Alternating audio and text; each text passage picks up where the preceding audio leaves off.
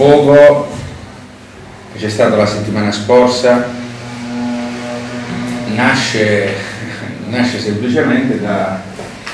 dal fatto che per due settimane consecutive, aprendo la rassegna stampa, un giorno mi è capitato di leggere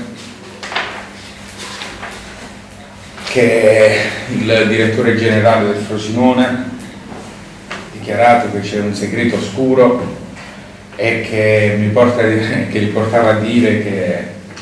a fine anno avrebbe avuto la soddisfazione di andare in Serie B diretta lasciando le frasi insomma poco, poco svelate.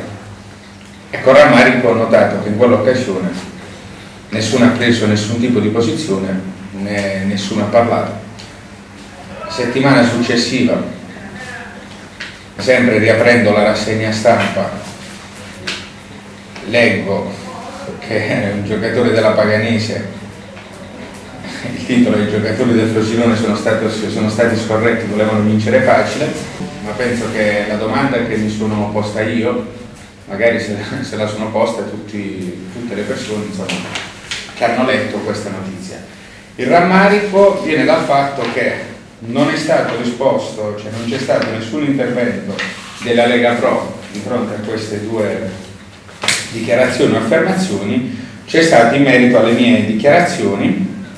dicendo tra l'altro delle, delle inesattezze, perché per quanto riguarda la partita Frosinone-Lecce noi abbiamo fatto quello che il regolamento ci impone fare, ovvero denunciare alla Procura federale i comportamenti poco consoni oppure la frase che ha riportato Diniz subito dopo la fine della partita. Anche perché se non l'avessimo fatto saremmo stati denunciabili per, per omesse denunce. Quindi il regolamento ci, ci è imposto di, di fare quello che noi abbiamo fatto. E la dimostrazione è che due giorni dopo la nota ufficiale della Lega Pro è venuto nella giornata di sabato la Procura federale a interrogare Diniz riguardo appunto quelle, quelle affermazioni. Quindi più che esposto c'è stata una denuncia agli organi competenti, in cui il calcio ha perso credibilità e noi a Lecce insomma, ne siamo un esempio eclatante, no? Anche perché noi siamo retrocessi di, di, così, di due categorie per una, a quanto pare, una tentata combina, beh insomma,